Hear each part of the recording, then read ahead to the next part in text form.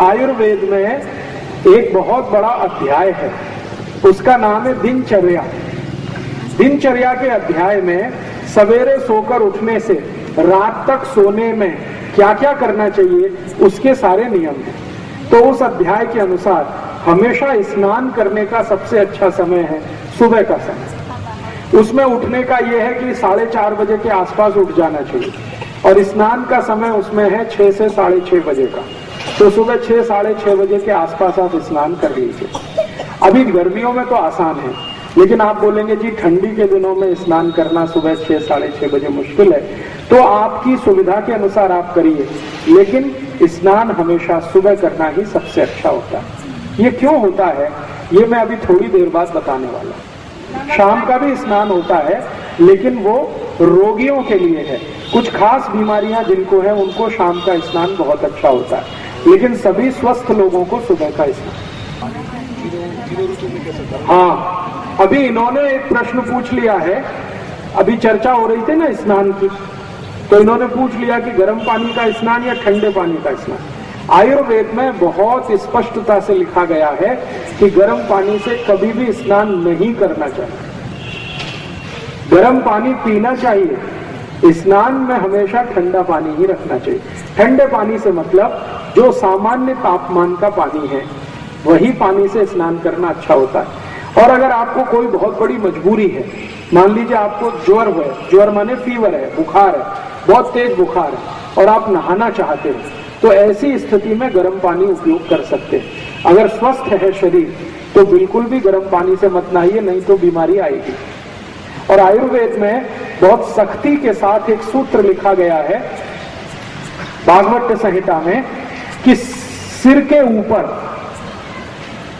गर्म पानी अगर आपने डाला तो तैयार रहिए 123 रोग आपकी ज़िंदगी में आएँगे। सिर के ऊपर अगर गर्म पानी डाला तो 123 रोग आपके जीवन में आएँगे। मानसिक रोग भी हो सकते हैं वो, और शारीरिक रोग भी हो सकते हैं। इसलिए सिर के ऊपर कभी भी गर्म पानी मत डालिए। वैसे तो गर्म पानी से नहाइए मत, मैं आपसे कहता लेकिन आपका दिल नहीं मानता, शरीर नहीं मानता, आदत बुरी पड़ गई है। महाराष्ट्र के लोगों को ये बहुत बुरी आदत है, गर्मी में भी गर्म पानी से नहाते हैं। तो अगर आदत बुरी पड़ गई है, शरीर को लग गया है इसका तो आप ऐसा करिए कि गर्म पानी शरीर के किसी भी अंग पर डालिए, सिर पर मत डालिए, सिर को बचाइए कम से कम। सिर को डालने के लिए ठंडा ही पानी रखिए, साधारण पानी। सिर और आँख, ये दोनों गर्म पानी से बचने चाहिए। क्यों बचने चाहिए? कारण मैं बता देता हूँ। ये सिर और आँख दोनों जो है ना, कफ का स्थान है। हमारे शरीर में तीन दोष होते हैं ना वात पित्त और कफ। तो ये जो सिर है, सिर, यहाँ सबसे ज़्यादा कफ रहता है।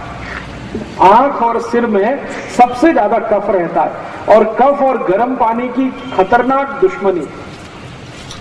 अगर गर्म पानी दें तो कफ और तेज़ी से बढ़ता है। इसलिए सिर और आँख दोनों को गर्म पानी से बचाना चाहिए। आँखों को कभी भी धोना हो तो ठंडे पानी से ही धोइए। सिर को कभी भी धोना हो तो ठंडे पानी से ही धोइए। बाकी शरीर को थोड़ा गर्म पानी डालें तो चलेगा, नहीं तो मेरा सुझाव है कि गर्म पानी डालिए ही मत, ठंडे पानी से ही नहाइए।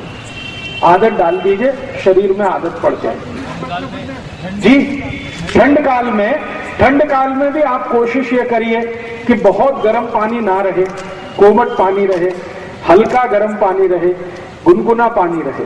बहुत गर्म पानी उस समय भी अच्छा नहीं है शरीर के लिए। नहीं, पानी का ठंडी से कोई संबंध नहीं है। आपके दिमाग में एक बहुत बड़ी गैर समझ है वो ये कि ठंड पानी से नहाएँगे तो सर्दी हो जाएगी। सर्दी का पानी से कोई रिश्ता नहीं है। सर्दी का रिश्ता पोट से है। पोट खराब होगा तो ज़रूर सर्दी होगी। जिनको संडा साफ़ नहीं होती बार बार जिनको कोष्ठबद्धता रहती है, मलबद्धता रहती है, कब्जियत रहती है, उनको ही सर्दी सबसे ज़्यादा होती है। पानी का सर्दी से कोई संबंध नहीं। इस बात को दिमाग से निकाल दीजिए कि ठंडे पानी से नहाने से सर्दी होती है बिल्कुल नहीं होती। सर्दी उनको होती है जिनको पोट साफ़ नहीं होता। उन्हीं को सर्दी होती है। समय में गर्म पानी भी लिया उसके बाद ठंडा भी दोनों पानी से नहाई चलेगा। ये उनके लिए है जिनको शरीर में कोई भयंकर दर्द है। अगर शरीर में आपको मसल्स पेन है दो तरह के पेन होते हैं। एक तो बोन्स में है हड्डियों में और दूसरा मांसपेशियों में। मांसपेशियों का अगर कोई भयंकर दर्द है तो ठंडे गर्म पानी से नहाने पर बहुत आराम मिलेगा। एक बार ठंडा पानी डालिए, फिर गर्म पानी, फिर ठंडा, फिर गर्म। तो मांसपेशियों का दर्द आपका खत्म हो जाएगा। लेकिन अगर स्वस्थ हैं आप तो ऐसा मत करिए। खाली ठंडे से ही नहाना ठीक है।